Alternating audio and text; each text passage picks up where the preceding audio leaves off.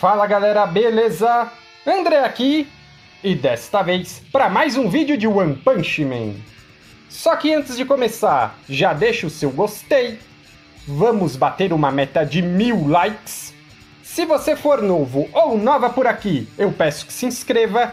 Aqui a meta já são de 30 mil inscritos. E diz aqui embaixo nos comentários o nome deste personagem. Comenta porque ajuda demais. E bora pro vídeo. Uhul! Capítulo 135 Desonra e Fundamentos.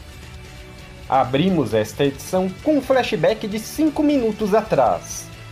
Drive observa os combates que estão rolando à distância, então ele diz: Já que uma torre se ergueu do chão depois dele ser rachado, quer dizer que Tatsumaki está lutando contra o líder da Associação de Monstros. Seria muito bom se eu pudesse pegar só um pedaço daquela carne como amostra. Mas eu não tenho muita energia sobrando. Fecha aspas. Então o herói vê um cabo de força desencapado e pega um pouco de energia emprestada. Na sequência, vemos um grande clarão de luz e Drive surge em sua nave de combate rumo ao campo de batalha. No chão, Máscara Doce aparece apavorado e diz: No fim, eu não pude fazer nada além de fechar os meus olhos e ficar assustado como uma criança.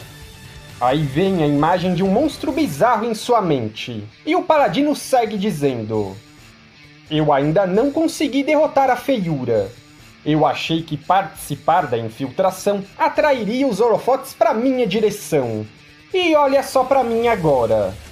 Depois disso, o herói da classe A dá de cara com os heróis da classe S, Zumbiman e os outros.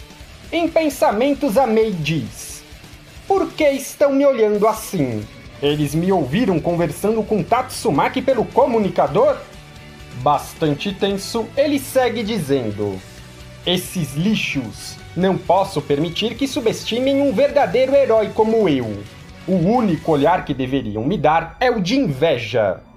Na continuação, Imperador Criança surge dizendo: Você não parece estar muito bem.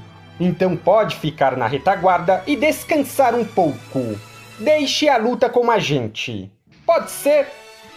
A Mei fica irritado ao escutar isso. Ele reflete e aponta que o galã mascarado é a última pessoa que deveria sentir tanta vergonha. Então vemos que apesar de toda essa revolta interna, ele acaba aceitando a dica do Classe S. Máscara Doce se pergunta se Sekinger ouviu essa conversa também. Se essa história vazar para o QG da Associação de Heróis, a posição e a reputação que a Mei construiu na associação como um herói ídolo serão manchadas.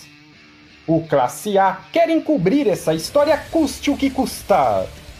Observando os Classe S se afastar, ele diz: Não levantaria suspeitas se alguém fosse morto pelas costas depois que toda essa luta acabasse. Era só dizer que foi algum monstro sorrateiro. A May Mask está muito tensa e com uma cara de bandido. Então Meron aparece e pergunta se ele está bem. A expressão no rosto de Máscara Doce muda completamente. Está bem mais leve. Então vemos a capa de um herói. Na próxima página, temos um tipo de flashback. É o encontro entre a Mei e Blast. Esse último diz: Está tudo bem agora. Na sequência, o classe A bate a sua cabeça contra as pedras. O espadachim pede para ele parar e pergunta se ele se machucou. Sangrando, Máscara Doce responde dizendo: Não se preocupe, é um problema meu. Hoje a minha roupa não tá combinando muito bem. Iron pergunta se é por isso que o Classe A está sofrendo. O gatão responde dizendo: Eu tava quase esquecendo os fundamentos. E um dos fundamentos da moda. Na última página desta edição, vemos Máscara Doce de pé. Ele parece pronto para voltar ao combate. O paladino conclui o seu raciocínio dizendo: E um dos fundamentos da moda é o autocontrole. Turma, para eu saber quem assistiu esse vídeo até aqui, diz aqui embaixo nos comentários o nome deste personagem. Comenta porque isso ajuda demais. E não se esquece de deixar like e compartilhar o vídeo no grupo do WhatsApp e Facebook. Rumo a 30 mil inscritos. Tamo junto e até a próxima!